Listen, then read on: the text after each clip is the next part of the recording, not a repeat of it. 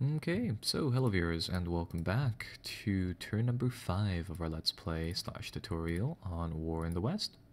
So, uh, I have time for a really quick episode today, so we might just cover the, the turn here and that's pretty much it. Um, anyhow, it looks like la from last time the enemy has, uh, has pulled back and they are now somewhere further up along the coast here.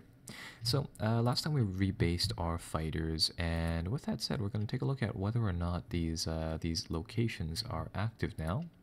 Uh, because there's a chance that they might be out of supply, and looks like a few bases are in supply and a few bases are out of supply, which is a bit of a problem. So, um, as you can see, like the the the, the base at Gela over here has 36, uh, rather a few, yeah, right around 40 or so, 45 or so Spitfires ready. Um, but if we take a look at uh, the one over here at Ponte Olivo, uh, they have zero out of all of their different squadrons ready, and this is because supply throughput is unfortunately a very, very, very difficult thing to get right with these bases. So it looks like they have enough fuel, they have enough ammunition in itself, uh, but they don't have enough um, supplies just uh, just as is to to support their planes. So yeah, this is why we need the uh, the bases here actually finished, uh, rather the bases on on or the ports in Sicily actually finished and ready. Because if we don't have them ready, um, despite receiving a ton of supply and outputting a ton of supply from Gela, uh, Siracusa, and Ca Cantina over here, uh, it, it's still not enough to cover even this small assortment of planes. I mean, these are only fighters, they're not carrying like large bomb payloads, even. So, with that said, uh, yeah, a recurring theme here is the fact that supply throughput is just, yeah, it's just not that great. Uh, so taking a look at how we can perhaps make this better, well, it looks like the uh, the Axis is, is, is, sending some planes over here to interdict our shipping uh, in some of these areas, and we could use, uh, or we could do with clearing those up. So we'll take a look into that shortly.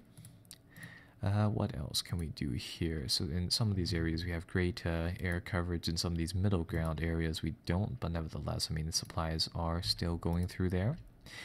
So in that case, uh, boo -boo -boo, let's see. Hmm. Yeah, I think what we'll do is that we'll, we'll put all the air directives to none. And we'll try to reset these. So starting off, we'll run a recon mission, figure out where the uh, the Germans are going here.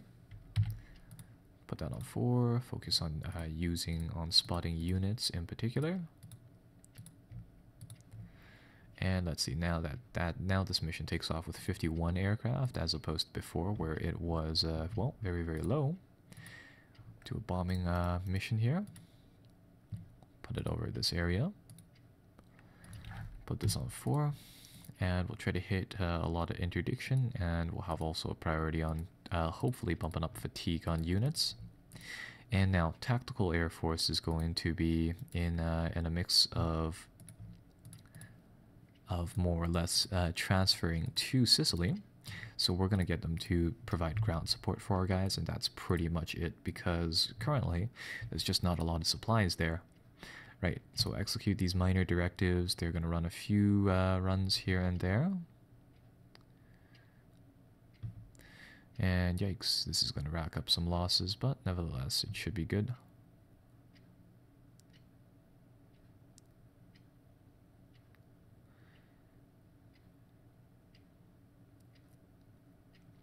And there we go, so the turn is done. We managed to drop a whole bunch of payloads all over here. And if we filter out the uh, missions over here, we should have run quite a lot of these air recon missions as well. Filtering these out. Doo -doo -doo. Where did our air recon missions go? Hmm. Don't seem to be displayed. Oh, that's why. There we go. So lots of air, uh, yeah, air interdiction missions and lots of recon missions to follow up through here. Uh, we don't seem to have identified enemy any any uh, rather a lot of enemy units, so that is very very odd. So disabling those filters, we managed to put a yeah a, small layer of interdiction over this area. Right, so we had to figure out uh, where that is coming from. And I'm going to get rid of all of these bomb, uh, well, air interdicts and all that. And we're going to see air combat to see where the uh, the Luftwaffe is uh, taking their missions. And it looks like they're uh, they're attacking all around the coast. So I'm going to guess they're they might be, I should say, based over there. And yeah, that is pretty much just that, right? And do they have any interdiction over the the, the strait control? And yes, they do. All right. So, uh, going forwards from that, we are going to liquidate the city. Attack it like that. We have air support now, which is quite nice. That's going to whittle down their air power. Gradually, though. Hit this area again. And hopefully, no, we can't go for one more round. Alright, uh, in that case, we'll take uh, Messina nice and properly. We'll get right up onto the coast. And at this point, our people should be able to, yeah, ferry over. The thing is that we'll need a uh, amphibious landing craft uh, unit to attack over the strait, and that's kind of why we uh, we have one cleared. Oh, that one, that unit shouldn't have moved. That's why we have uh, this unit sitting over here, is because we can use it to try to push through this area now. And we could try to do that next turn. The thing is that um, inside these areas, the, uh, the, the the towns, uh, from from one perspective, has pretty heavy uh, anti or yeah sea defenses. So with that said, that might be quite a difficult target. Oh, looks like we got some intel on these airfields. And let's see what is based. We know that. Hmm, we know that they have a yeah a small squadron of BF-109s over here, and another one over here. All right, so those are two targets for the uh, for the next round of aircraft. All right, so now we have to say whether or not we uh, we want to try to cross this right now. They look like yeah they have uh they have Fallschirmjäger infantry and some other stuff guarding that crossing, so it might not be the best uh, time to try to do that. Either way, we'll try to liquidate these uh, these guys over here, and that's gonna remove one large lot of enemy guys. The Panzer Grenadiers managed to escape, so we'll finish them off just like that, and that should beg us quite a lot of enemy losses. So let's see. This one's going to give us a ton of enemy infantry. Uh, but the tanks manage to go forth, and the Panzer, yeah, all the Panzers escape. So now if we switch over here in this mission, um, now that the infantry are gone, the losses mount up, and we manage to capture practically yeah, all of their tanks and whatever is left here. So that is quite nice.